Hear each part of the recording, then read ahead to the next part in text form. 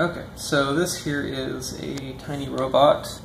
Uh, it's laser cut walnut. Um, on the bottom level are two white uh, motors. Uh, above that are two laptop batteries. And then the green thing is a uh, Raspberry Pi with uh, the blue blinky light is a Wi-Fi dongle and on the left here is this uh, L298H bridge, which is a motor controller with that red, bright red light.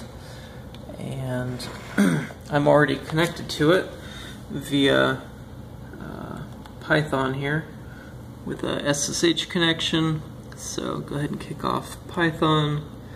Uh, we'll paste in some basic code and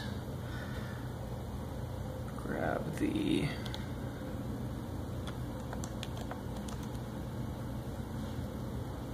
relevant information and away it goes.